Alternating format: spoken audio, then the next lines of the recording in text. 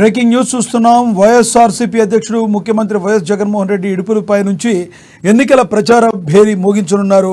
తొలుత దివంగత ముఖ్యమంత్రి వైఎస్ రాజశేఖర రెడ్డి ఘాటు వద్ద ప్రత్యేక ప్రార్థనలు నిర్వహించి నివాళులు అర్పించిన అనంతరం మేమంతా సిద్ధం బస్సు యాత్రను ప్రారంభిస్తారు. తొలి రోజు బస్సు యాత్ర కడప పార్లమెంట్ నియోజకవర్గ పరిధిలో జరగనుంది. ఇడుపులపాయ నుంచి ఇచ్చాపురం వరకు మొత్తం ఇరవై ఒక్క రోజుల పాటు ఈ బస్సు యాత్ర కొనసాగుతుంది.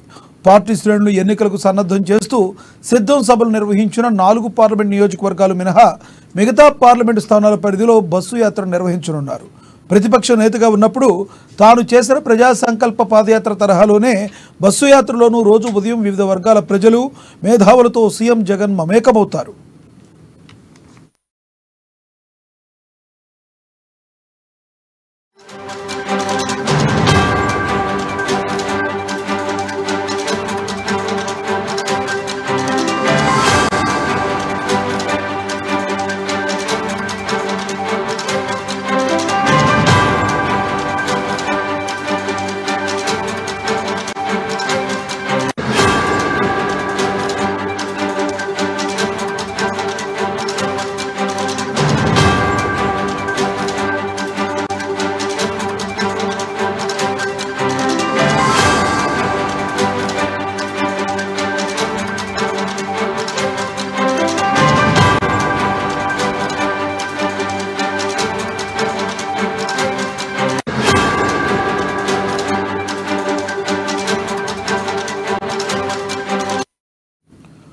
వైఎస్ఆర్సీపీ అధ్యక్షుడు ముఖ్యమంత్రి వైఎస్ జగన్మోహన్ రెడ్డి ఇడుపులపై నుంచి ఎన్నికల ప్రచార భేరీ మోగించనున్నారు. తొలుత దివంగత ముఖ్యమంత్రి వైఎస్ రాజశేఖర రెడ్డి ఘాటు వద్ద ప్రత్యేక ప్రార్థనలు నిర్వహించి నివాళులు అర్పించిన అనంతరం మేమంతా సిద్ధం బస్సు యాత్రను ప్రారంభిస్తారు. తొలి రోజు బస్సు యాత్ర కడప పార్లమెంట్ నియోజకవర్గ పరిధిలో జరగనుంది. ఇదే విషయానికి సంబంధించి మరింత సమాచారాన్ని మా ప్రతినిధి యూసఫ్ అందిస్తారు. యూసఫ్ చెప్పండి బస్సు యాత్ర ప్రారంభం కాబోతున్న సందర్భంగా అక్కడ కోలాహలం ఏమైనా కనబడుతుందా? Thank you Lakshminath. కడప జిల్లాలో ఇవాళ ఏపీ ముఖ్యమంత్రి వైఎస్ జగన్మోహన్ రెడ్డి తన బస్సు యాత్రను ప్రారంభించనున్నారు.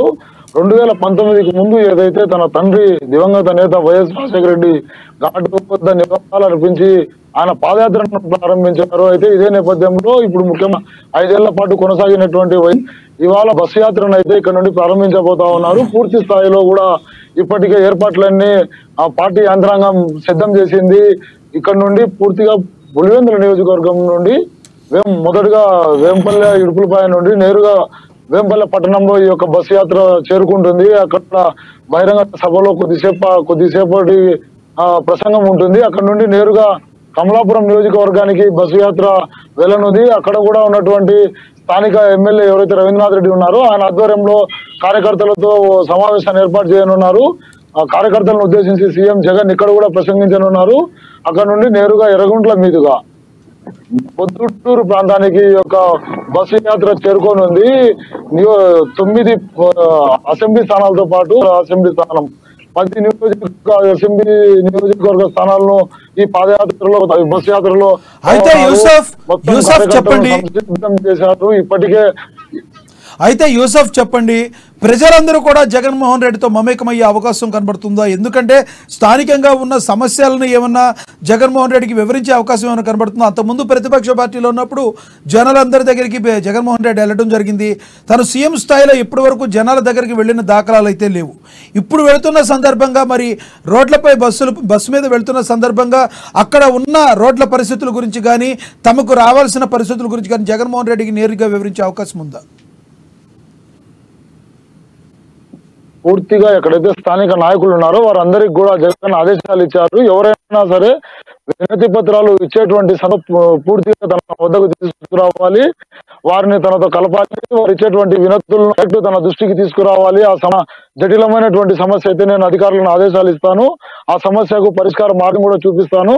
అది ఒకవేళ తీవ్రమైనటువంటి సమస్యలు ఉంటే తను అధికారం తర్వాత చేపట్టబోయే అధికారంలోకి వచ్చిన తర్వాత ఆ సమస్యకు పరిష్కారం సత్వరం చేసే విధంగా చర్యలు తీసుకుంటానని చెప్పేసి ప్రజలకు కూడా భరోసా ఇవ్వనున్నారు. ఆ విధంగానే ప్రణాళిక మొత్తం రూపొందించారు. స్థానిక నాయకులు కూడా ఎక్కడికక్కడ వినతి పత్రాలు కూడా ఇప్పటికే సంసిద్ధం చేసుకున్నారు. తమ సమస్యలు నాలుగున్నర సంవత్సరం పాటు ఏవైతే పరిష్కారం కాలేదు అవన్నీ కూడా ఇప్పుడు పరిష్కరించాలని చెప్పి కోరబోతా ఉన్నట్లు కూడా మనకు తెలుస్తా ఉంది.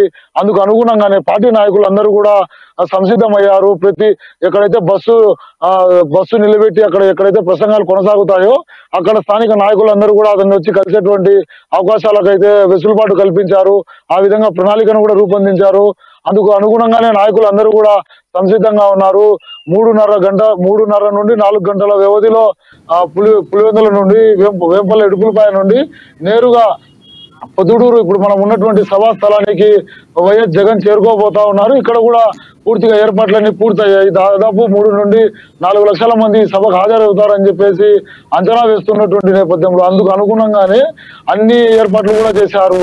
ఉదయం కూడా ఈ స్థానిక పొద్దుటూరుకు సంబంధించిన శాసనసభ్యులు రాజమల్ల శివప్రసాద్ రెడ్డి ఎవరైతే ఉన్నారో వారు ఏర్పాటు చేసినటువంటి ఫ్లెక్సీలను మొత్తం చించివేశారని చెప్పేసి ఆయన ఆగ్రహం వ్యక్తం చేశారు అగాంతకులు చేశారా లేకుంటే సభను విచ్ఛిన్నం చేసేందుకు టీడీపీ నాయకులు ఆ విధమైనటువంటి ధోరణిలో ముందుకు వెళ్తా ఉన్నారా? ఇవన్నీ వీటి అన్నిటి మీద కూడా పోలీస్ అధికారులు విచారణ జరపాలి. సీఎం స్థాయి వ్యక్తి కడప జిల్లా వ్యక్తి సభ జరుగుతున్నటువంటి నేపథ్యంలో ఆయన ఫ్లెక్సీలను చింపివేయడం పొద్దుటూరు నియోజకవర్గంగా కూడా ఒక సంచలనం సృష్టిస్తా ఉంది. అయితే యూసఫ్ నాయకులు అయితే రెచ్చగొడతా ఉన్నా అయితే యూసఫ్ మొన్న ఒక సభలో ఎప్పుడైతే ప్రధానమంత్రి నరేంద్ర మోడీ గారు చంద్రబాబు నాయుడు గారు పవన్ కళ్యాణ్ గారు ముగ్గురు మాట్లాడిన సభలో మైకులు ఆగిపోయిన పరిస్థితి. సాక్షాత్తు పీఎం గారు ఉన్న దానిలోనే మైకులు ఆగిపోయిన పరిస్థితి. ఈసారైనా సభ సరిగ్గా జరగడానికి ఈరోజు మరి పోలీసులు అక్కడ సహకరించే అవకాశం కనబడుతుందా? పూర్తి స్థాయిలో పోలీస్ యంత్రాంగం మొత్తం కూడా కడప జిల్లాకు సంబంధించిన పోలీసులందరూ కూడా ఇప్పటికే బహిరంగ ఈ సభా స్థలికి చేరుకున్నారు. అటువంటి ఎటువంటి అవాంఛనీయ సంఘటనలు జరగకుండా ఏర్పాట్లు చేస్తా ఉన్నారు. మరో పక్క ఎలక్ట్రికల్ అధికారులు ఎలక్ట్రికల్ అధికారి విద్యుత్ శాఖ అధికారులు ఎవరైతే ఉన్నారో వారు కూడా ఇప్పుడు ప్రస్తుతం వైఎస్ జగన్మోహన్ రెడ్డి ఆపద్ బంద్ ఆపద్ బంద్ ముఖ్యమంత్రిగా కొనసాగుతున్నారు కాబట్టి ఆయనకు చేయాల్సినటువంటి సకల సౌకర్యాలు కూడా సమకూరుస్తా ఉన్నారు. మరో పక్క జిల్లా యంత్రాంగం కూడా ఎటువంటి లోటు జరగకుండా అటు ప్రజాప్రతినిధులు కావచ్చు ఇటు విద్యుత్ శాఖ కావచ్చు జనరేటర్లను కూడా ఏర్పాటు చేశారు. పూర్తి స్థాయిలో ప్రసంగించేటప్పుడు ఎటువంటి అవాంతరాలు ఏర్పడకుండా అన్ని కూడా చూసుకుంటున్నటువంటి నేపథ్యం. పూర్తిగా పోలీసులు అయితే మూడు రోజుల నుండి ఇక్కడ ఉండి అన్ని పర్యవేక్షిస్తా ఉన్నారు. పోలీసులతో పాటు ఇప్పుడు అధికారులు పాల్గొనకూడదు కాబట్టి ఇటువంటి సభల్లో పార్టీ నాయకులు పార్టీలో ఎవరైతే కీలకంగా వ్యవహరిస్తారో వారికి అందరికి కూడా బాధ్యతలు అప్పచెప్పారు. వారందరూ కూడా ఈ బాధ్యతలను సమకూరుస్తా ఉన్నారు. ఎల్ఈడీలు కావచ్చు ప్రజలు కూర్చునేందుకు కుర్చీలను కూడా ఏర్పాటు చేశారు.